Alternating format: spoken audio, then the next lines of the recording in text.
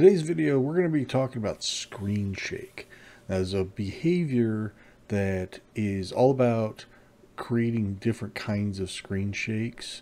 So in this example here, I've created a sort of a temple, an ancient temple, and I'm uh, just exploring that temple. I can turn my flashlight on here, and here we come across a, uh, a mysterious lever. So if we press this lever, Right, the screen shakes when the door opens, and as you can see, there's a, a hidden room back here with an altar and so forth. Um, so how is that done? Let's take a look at that. So the first thing I want to show you is there is there are two logic connectors. So if I turn that on, we can see the switch is connected to the door. That way the door opens when I click the switch. But then also it's connected to a nearby object. Now, it doesn't really matter what you attach the shake behavior to. It just needs to be some, you know, object in this in the scene that can affect the shake that's not really being used any other way. So I just chose a nearby uh, pot. And let's see, let's take a look at the shake behavior. So this is actually deceptively complex because there's a number of pre-built uh, sh shakes that are uh, that come with it. We've got uh, tremble, tremor, earthquake, explosion, drunkard, which I thought was clever, and then also manual, which we're going to get to, uh, you know, get into at at the end for now, let's just take a look at the differences. There, I, I feel like they're kind of subtle. Um, I'm going to keep all of the settings the same, and we'll just compare each one side by side. So we saw tremble. Now let's take a look at tremor and see what that looks like. So I'm just going to go and click the switch again. Watch closely pretty similar. I couldn't really get a sense for exactly what's different. It is different, but it's it's I wouldn't be able to pick them out. Be honest with you. All right. One thing I'm noticing here, I exit the preview and notice that the the style drop down seems to have kind of disappeared on me.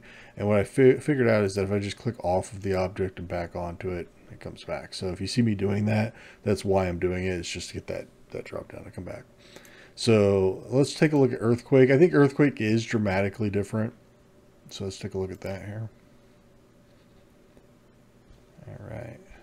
So here goes. All right. So same settings, but it lasted a little bit longer. It was a lot more wobbly, kind of a, you know, all around wobble. Um, so that was actually quite a bit different. Let's take a look at another one.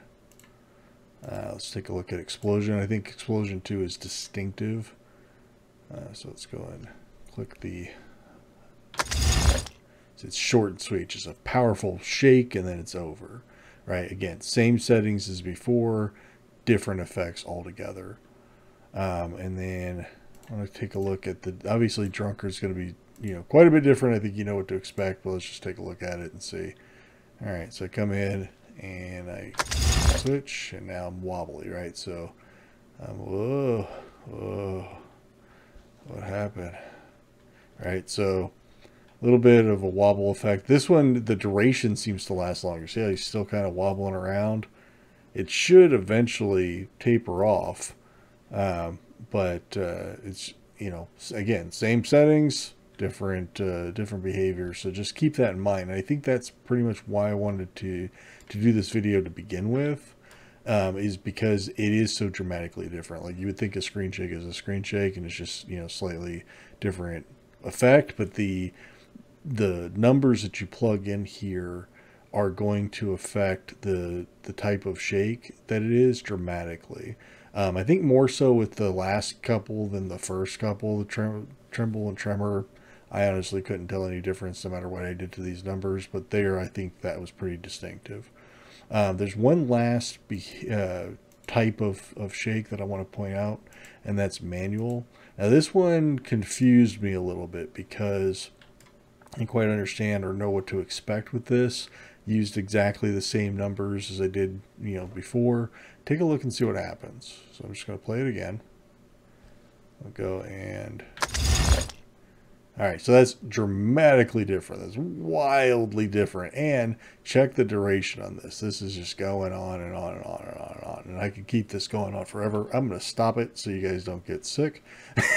but you can see my point. Now, the reason it's so much more uh, powerful and so much more dramatic and lasts so much longer is that the whole point behind manual is so that you have a lot more granular control over you know, what that effect looks and feels like. So this is a this is a lot more fine tunable, if that's a word that I can use to describe that. So bear that in mind. If you're if you're trying out the different presets and it's not quite getting you know where you want it to uh, to be, try the manual effect. Take it slow. Do baby steps, small small incremental numbers. Um, make sure that things like fade um, are actually much smaller. Like if I do, let's just do like 0.20. Right, so much smaller. Let's take a look and see what it does. Zoom over here, and should I think it'll it'll stop sooner. Maybe not. I don't know. I'm not. I haven't mastered all these numbers, so I think again, just trial and error is the way to go with these. You can also change um, the uh, the sound effect. So, you know, I really only have the one sound effect on the door when the door opens. I think a rumble effect or rumble sound would be great. I chose not to put a sound in here because I knew I was going to be repeating this over and over again. I really just didn't want it to be annoying. Um, but obviously, you'd want some sort of sound to kind of indicate something's happening with, you know, an explosion or an earthquake or something like that. And that's it. The last thing I wanted to mention is the set that I'm using here. This is all, almost all coming from um, the Aztec uh, uh, DLC. So shout out to them for the awesome assets that I was able to use to create this uh, this set.